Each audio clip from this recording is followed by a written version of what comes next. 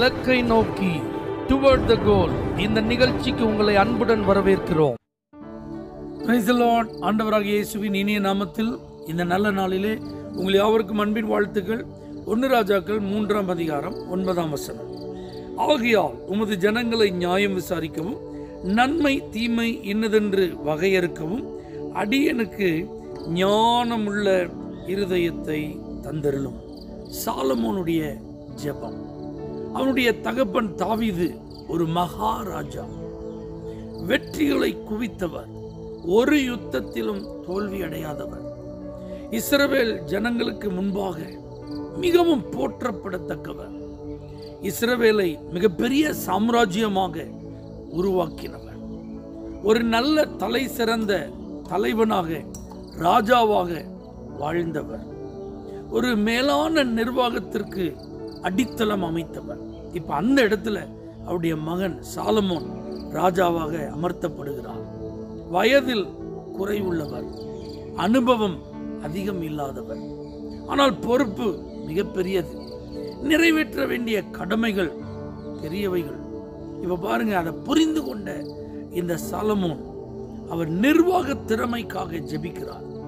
இதை மிக நேர்த்தியாக நான் நிர்வாகம் செய்ய வேண்டும். எனக்கு அதற்கு வேண்டிய ஞானத்தை தாரும் என்று ஆண்டவிடத்தில் கேட்கிறார்.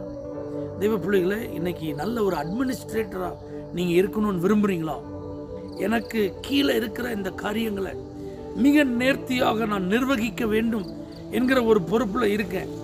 எனக்கு முன்பு இருந்தவர்கள் சிறந்தவர்கள் வயதில் மூத்தவர்கள் ஏராளமான நல்ல அனுபவம் உடையவர்கள் அல்லது நான் நிர்வகிக்கும் இந்த நிறுவனம் பெயர் பெற்ற ஒரு நிறுவனம்.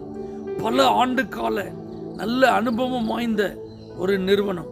இப்போ நான் அதில் அனுபவம் இல்லாத ஒரு நபர் வயதில் ஒரு குறைந்த நபர். ஆனால் எனக்கு அந்த வாய்ப்பு கிடைத்திருக்கிறது. இதை எப்படி நிர்வாகம் பண்ண போறேன்னு எனக்கு தெரில எனக்கு பயமாக இருக்குது என்னால் இதை சக்ஸஸ் பண்ண முடியுமா? இதை மேனேஜ் பண்ணி கொண்டு போயிடலாமா எனக்கு கீழே இருக்கிறவங்களெல்லாம் நேர்த்தியாய் வழிநடத்த முடியுமா? இப்படிலாம் பல கேள்விகள் உங்கள் உள்ளத்தில் இருக்குமானால் சாலமோன் செய்தது போல நீங்கள் செய்யணும். அதை தான் கர்த்தர் சொல்றார். ஞானமுள்ள இருதயத்தை தான். எனக்கு கீழே இருக்கிற அந்த அத்தனை பேரை நிர்வாகம் பண்ண. என் கையில் கொடுக்கப்பட்டிருக்கிற இந்த பொறுப்புகளை சரியான விதத்தில் நிர்வாகம் பண்ண. என்னுடைய குடும்பத்தை சரியாய் நிர்வாகம் பண்ண. என் கைகளில் கொடுக்கப்பட்டிருக்கிற பணங்களை நிர்வாகம் பண்ண. என்னுடைய ஊழியத்தை நிர்வாகம் பண்ண. என்னுடைய கல்வி நிறுவனத்தை நிர்வாகம் பண்ண. என்னுடைய கம்பெனியை நிர்வாகம் பண்ணேன் எனக்கு கீழே இருக்கிற ஒரு பத்து பதினஞ்சு ஆட்களை நிர்வாகம் பண்ணேன் ஆண்டவரே எனக்கு ஞானம் தாரும் என்று நீங்கள் கேட்பீர்களானால் சக்ஸஸாக உங்கள் அட்மினிஸ்ட்ரேஷன் இருக்கும்.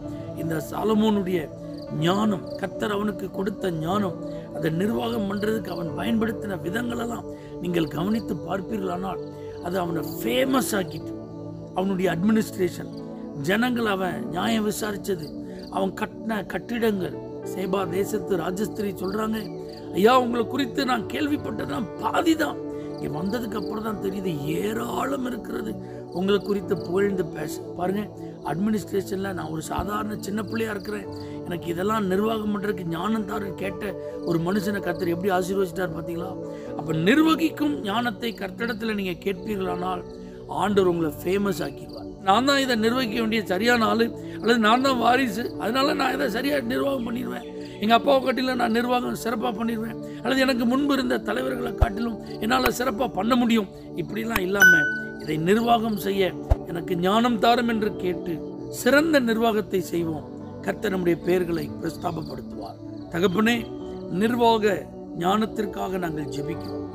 எந்தெந்த காரியங்கள் எங்கள் கைகளில் கொடுக்கப்பட்டிருக்கிறதோ அதை மிக நேர்த்தியாக ஞானமாக நிர்வகிக்க கிருபைத்தார் இயேசுவி நாமத்தில் பிதாவே ஆமேன் for prayer contact pastor J Jayakumar El Shaddai ministries nine five double zero two five two five eight six Surandai